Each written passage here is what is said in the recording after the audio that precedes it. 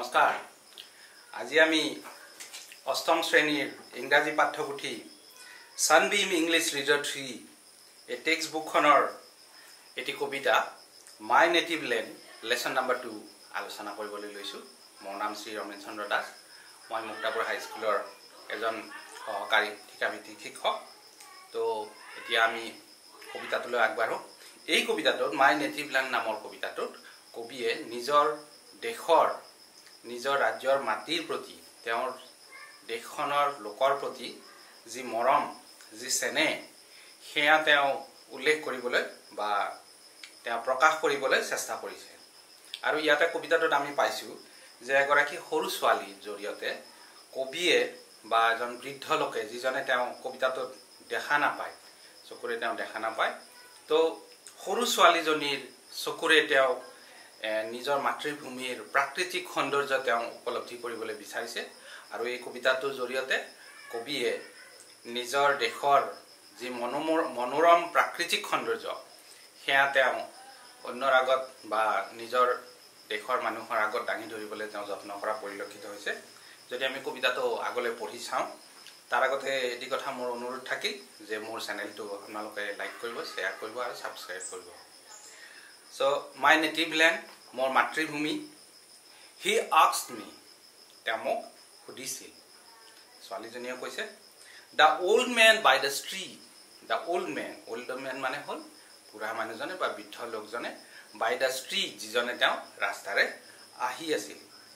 Blind তেওঁ হ'ল অন্ধ লোনলি অকলশৰীয়া এণ্ড পৌৰাৰ দেন মি পৌৰাৰ পৌৰ পৌৰ মানে হ'ল দুখীয়া পৌৰাৰ তাৰে তোমাৰ কম্পাৰেটিভ ডিগ্ৰী আৰু ছুপাৰলেটিভ ডিগ্ৰী পৌৰেষ্ট গতিকে তেওঁ মোতকৈ বেছি দুখীয়া।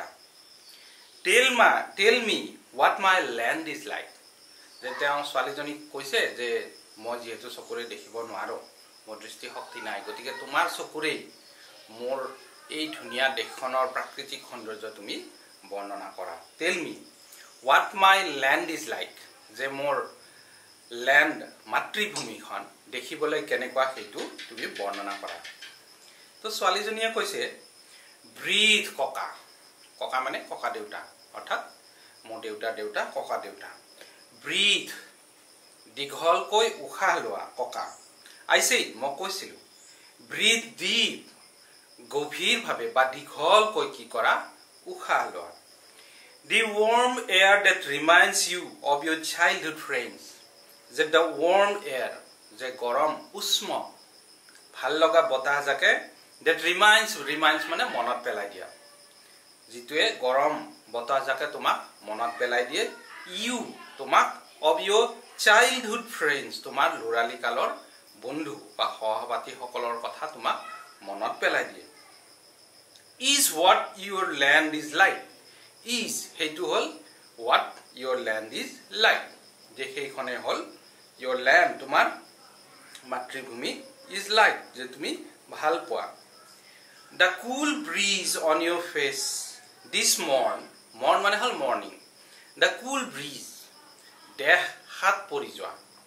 ব্ৰিজ মলা বতাহ চাকে অন ইয়ৰ ফেচ তোমাৰ মুখত দিছ মৰ্ণ আজি ৰাতিপুৱা। After last night's endless thunder and rain thunder মানে হ'ল বজ্ৰপাত। আফটাৰ লাষ্ট নাইট যোৱা ৰাতিৰ এণ্ডলেছ শেষ নোহোৱা।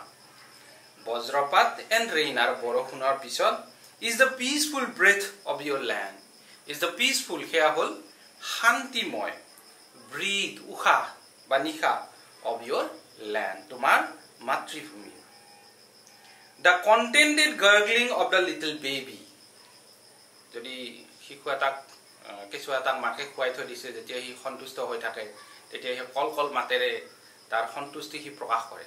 আৰু ইয়াতে গাৰ্গলিং বুলি কওঁতে সেইটো সন্তুষ্টিৰ ভাৱৰ কথা ইয়াত উল্লেখ কৰিছে।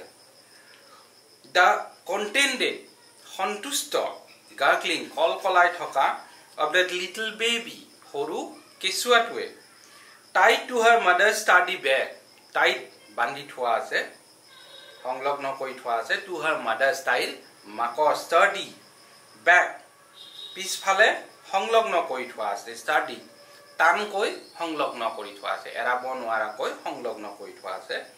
Is the soil of which your land is made is the soil সেয়ে হ'ল তোমাৰ দেশৰ মাটি of which your land is made আৰু সেই মাটিৰেই তোমাৰ দেশখন নিৰ্মিত। অৰ্থাৎ তোমাৰ মাটিত মায়ে শিশুটিক টানকৈ সংলগ্ন কৰি থয় আৰু শিশুটিয়ে আনন্দত বা সন্তুষ্ট ভাৱত সি কি কৰে? গাৰ্ডলিং কল কলাই থাকে।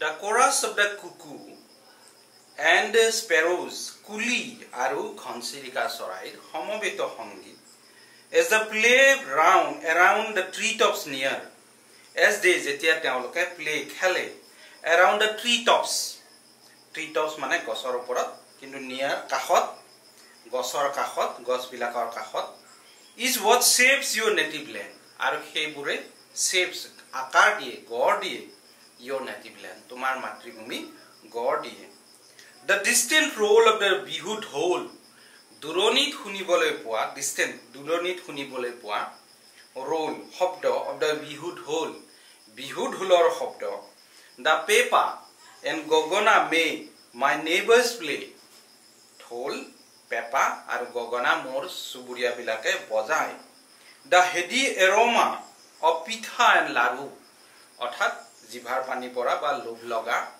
এৰমা সুগন্ধি অফ দ্য পিঠা পিঠা আৰু লাড়ুৰ লোভনীয় গোন্ধ। The choir of the evening prayer the choir of the evening prayer sorry the chant of the evening prayer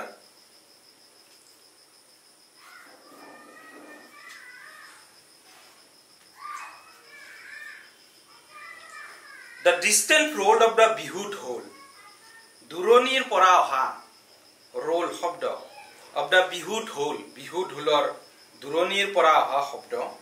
the pepa and গগনা of my neighbours play. Pepa আৰু গগনা যিবোৰ মোৰ চুবুৰীয়াবিলাকে বজায়। দ্য হেডি এৰমা লোভনীয় গোন্ধ বা জিভাৰ পানী পৰা গোন্ধ of the pitha and laddu মলমলীয়া পিঠা আৰু লাড়ুৰ গোন্ধ। The chant of the evening prayer the chant শব্দ বা উচ্চাৰণ অফ দ্য ইভিনিং প্ৰেয়াৰ।